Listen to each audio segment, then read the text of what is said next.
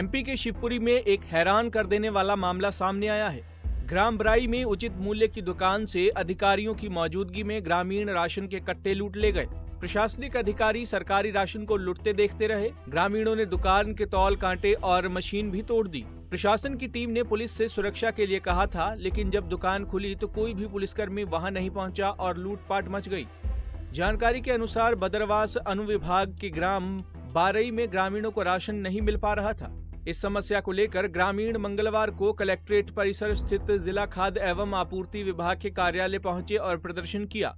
ग्रामीणों का कहना था कि बारई में केंद्र सरकार द्वारा जारी किए गए निशुल्क गेहूँ दुकान को मिल गया है, लेकिन हमें नहीं दिया जा रहा है। खाद्य अधिकारी ने उन्हें आश्वासन दिया कि हम शिवपुरी से अधिकारी भेजेंगे और वे वहाँ पर राशन का वितरण कराएँगे। इसे लेकर गाँव में मुनादी हो गई कि बुधवार को राशन बटेगा। जैसे ही दुकान खुली तो लोगों की भीड़ वहाँ पर टूट पड़ी। बिना पर्ची और फिंगर लगाए लोग वहाँ से गेहूँ और चावल के कट्टे उठा उठा कर ले जाने लगे। ग्रामीण संख्या में इतने अधिक थे कि वहाँ के अधिकारी और कर्मचारी उन्हें रोक नहीं पाए। वहीं इस मामले में फ़ूड अधिकारी का कहना है कि हमने पुलिस की मांग की थी। बिना पुलिस की मौजूदगी में राशन बांटना संभव नहीं है। पुलिस व्यवस्था न होने के कारण दुकान लूट ली गई। कल बाराई के कुछ लोग जिला जिला मुख्यालय पर आए थे, शिकायत देके खाद्यान्न नहीं बट रहा है। उनको खाद्यान्न नहीं मिला है। तो मैंने उनको समझाई दी थी कि आप लोग जाइए, कल दुकान खुलेगी और दुकान पे हम किसी को यहाँ से भेजेंगे, जो अपने सामने खाद्यान्न बंटवाएँगे तो मेरा इंस्पेक्टर और उसके साथ में राजस्व वाले कुछ लोग गए थे दुकान पे।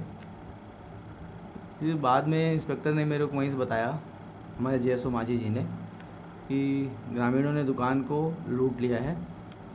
इसमें क्या वास्तविकता है, ये तो जाँच का जाँच का विषय है। मैंने उनको सलाह दी कि आप जो है ना जा कर के थाने में विक्रेता को बोलो कि जो स्थिति है थाने में जा कर के वहाँ पे अपनी एफ़ आई आर कराए। और बाकी तो जाँच का विषय है कि क्या हुआ क्या वास्तविक वास्तविक क्या घटना है कितने लोगों बांटा कितने किसने लूटा क्या स्थिति।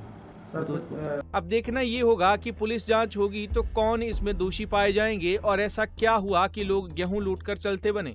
शिवपुरी से भूपेंद्र शर्मा की रिपोर्ट। हमसे जुड़े रहने के लिए हमारे YouTube चैनल को सब्सक्राइब करें और नई वीडियो की नोटिफिकेशन के लिए बेल आइकॉन को दबाएँ। अगर आप ये वीडियो Facebook पर देख रहे हैं तो लाइक ज़रूर करें और ज़्यादा से ज़्यादा शेयर करें धन्यवाद